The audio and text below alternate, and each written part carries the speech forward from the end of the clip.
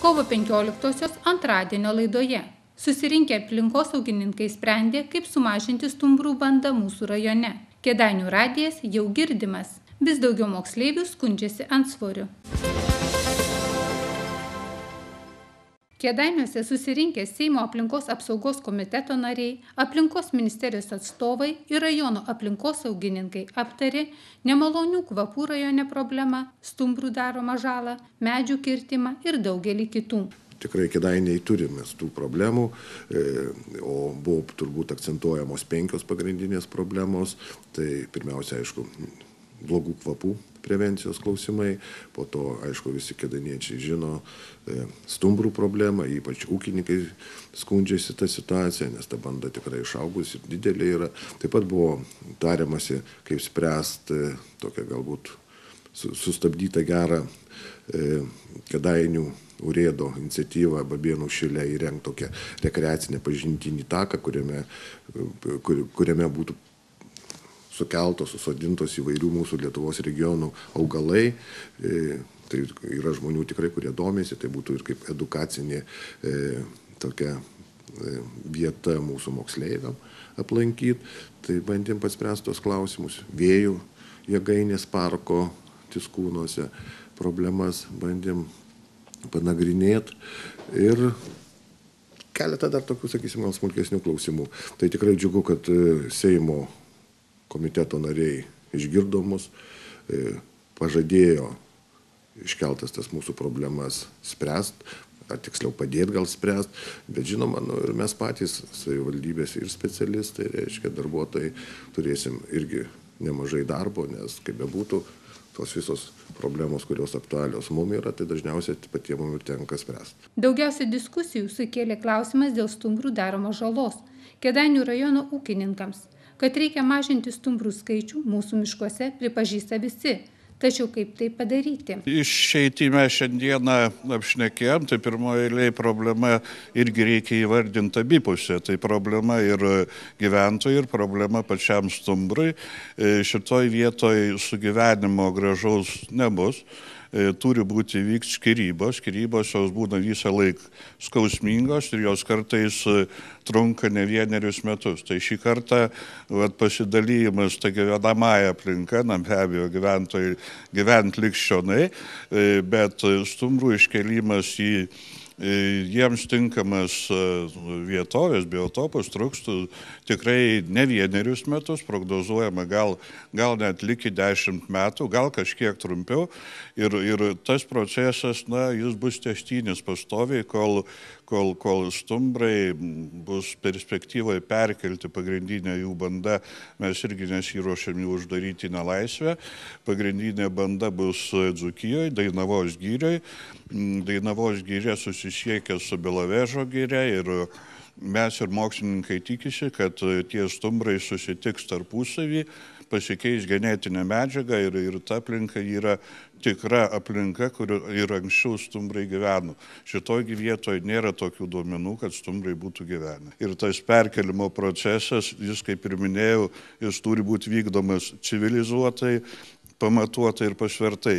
Ir tai kaip rodo priemonė, tai greičiau mes jų niekaip negalim. Jeigu būtų e, naminių gyvūnų banda, kurią mes būtum galima nuginti, būtų e, su botagėliu paėmus, taip, tai būtų užtekę mėnesio ar kiek. Stumbras tai yra pirmoji eilėje bandos gyvūnas, jis yra didžiulis gyvūnas ir jau jo perkelimas ir perkelimas galima jį tik tai užmygdžius ir tik tai galima iki dviejų metų kažkur tokio amžiaus e, mygdyti ir perkelti. Tai vat ir sudaro tos, e, tuos sunkumus, kur mes negalim vienu įpau to padaryti ir juo labiau žadėti gyventojams, kad mes vat jau kitą sustikimą čia stumbrų nebus, būtent tie stumbrai. Stumbrų daroma žala ūkininkams ir miškams kasmet didėja. 2014 metais padaryta žalos už 34 tūkstančius eurų, 2015 net 92 tūkstančiai eurų tenka išmokėti ūkininkams.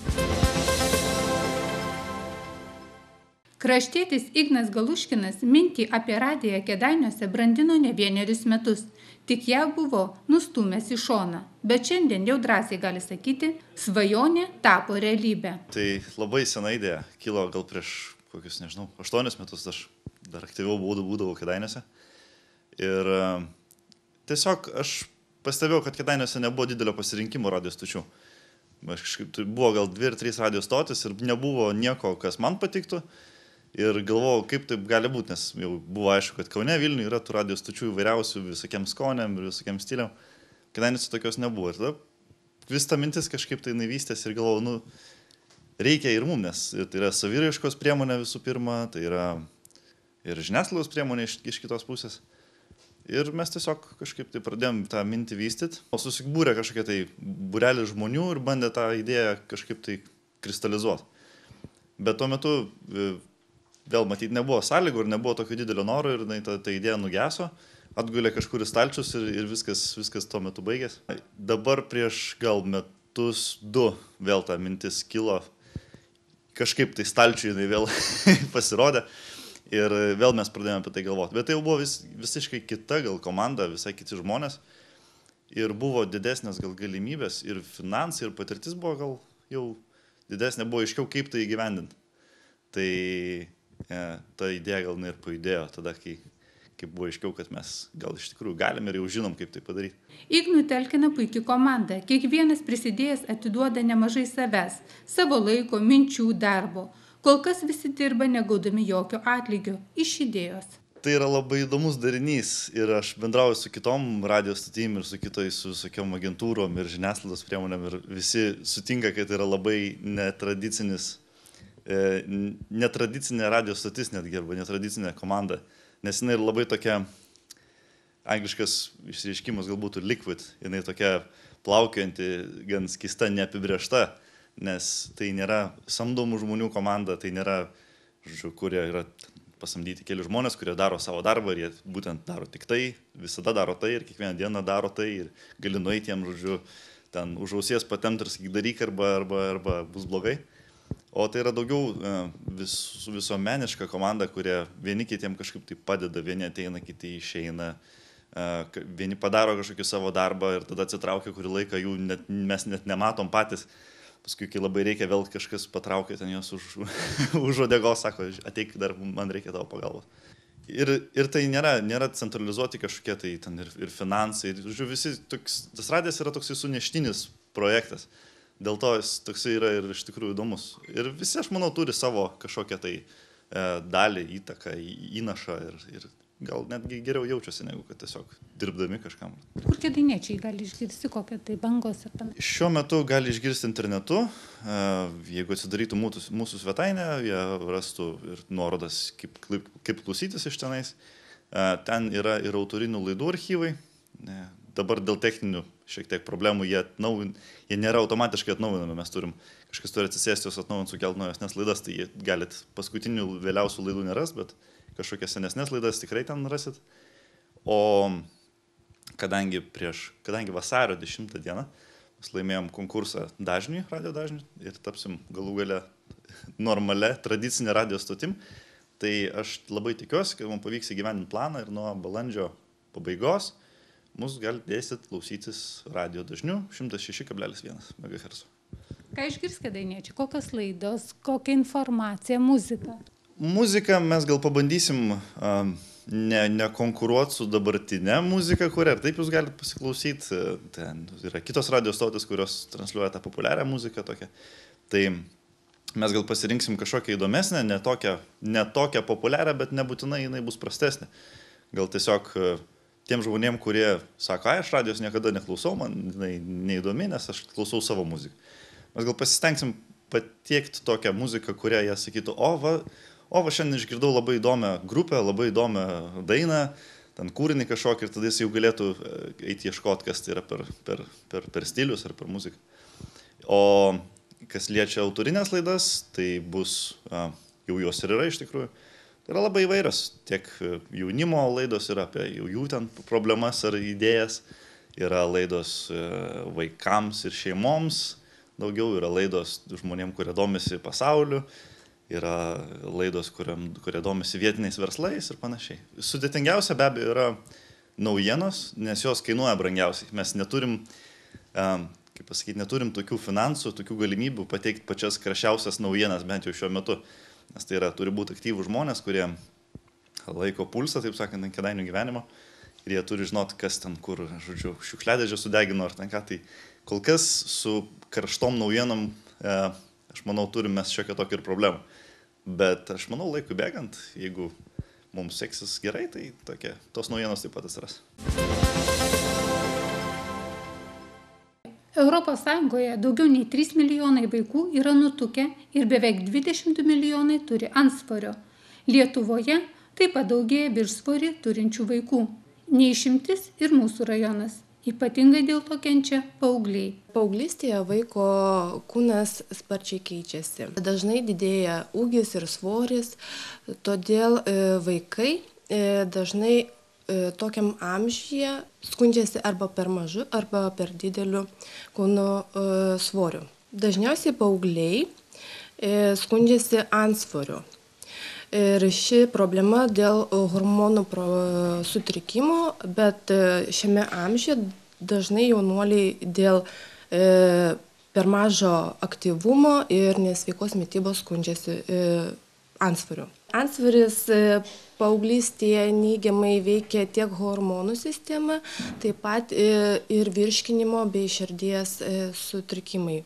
E, Ansvariu nesirūpinant, suaugusiam žmogui vėliau grėsia širdies lygos, diabetas, insultas. Kedainių rajone pagal vaikų sveikatos pažymas duomenis buvo pastebėta, kad su sumažėjusiu kūno masės indeksu dažniausiai skundžiasi septintos klasės vaikai, o dėl e, nutuk, ansvario tai yra penktų, septintų klasių vaikai. Tai sudarė apie 5 procentus ir tos ir tos klasės. Svarbiausia, norint atsikratyti viršsvorio, sveikos mytybos įpročiai ir fizinis aktyvumas. Reikėtų tėvams e, atkreipti dėmesį kaip vaikai dažnai e, juda, juos skatinti aktyviai praleisti laukia, žaidžiant, lakstant, taip pat skatinti įvairius aktyvius brelius. Mm, atkreipti dėmesį reikėtų ir į mytybą, kad jinai būtų sveika, subalansuota. Dažniau e, vartoti vaikams e, irgi reikėtų daržovės, vaisius, nes HBSC tyrimas rodo, kad kad ir daugėja vaikų vartojančius vaisius ir daržovės, tačiau jų nepakanka. E, ir tik pakankamai vartojančių vaikų yra kas e, ketvirtas. Tai yra, kad kasdieną jie valgo vaisius ar daržovės. E, dažni, tarptautinis vaikų sveikatos gyvensenos tyrimas rodo, kad dažniausiai berniukai skundžiasi ansvariu, negu mergaitės. Taip pat 10, e, 2010 e, metais atliktas tyrimas, lyginant su 2014 metais tyrimais, berniukų net ir padidėjo e, dalis, kurie turi ansvarį. Todėl reikėtų taip pat jums skatinti vaikus valgyti bent du kartus grūdinius produktus, mažiau vartoti riebalinių E, produktų, vartoti dažniau liesus produktus, reguliariai valgyti. Pasaulinės sveikatos organizacijos duomenimis nutukusių vaikų kasmet padaugėja 2 procentais. Nutukimas dabar plinta 20 kartų greičiau nei prieš 40 metų. Pasaulio sveikatos organizacija prognozuoja, kad kitą metą vienas iš dešimties vaikų bus nutukęs. Šiandien nutukimas viena iš labiausiai paplitusių vaikų lygų.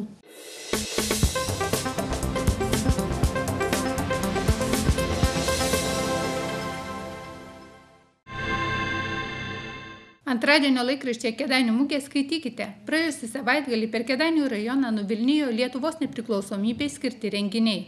Ši data pažymėta ne tik dainomis ir šokiais, bet ir prieš 60 metų įvykusio itin drąsaus polgio įamžinimu. Koks tai buvo įvykis, perskaitysite straipsnėje. Taip pat šiame numirė perskaitysite, kaip Adžalino gimnazijos mokiniai puoselėja gamtą ir moko tai daryti kitus, kas įsikurs Kunionių mokykloje. Šiame numeryje jūsų laukia ir daugybė įvairių pažinčių. Susipažinsite su perspektyve jaunąją saksofonininkė Rusne, keramiku Mindaugu Mažaliu, taip pat sužinosite, kaip Lietuvos nepriklausomybė švenčia jos vainių jaunimas, bei kokia ryški paroda atidaryta Kedanių kultūros centre. Šiame numeryje rasite ir fotoreportažą iš Kedainių krašto metų moterų rinkimų.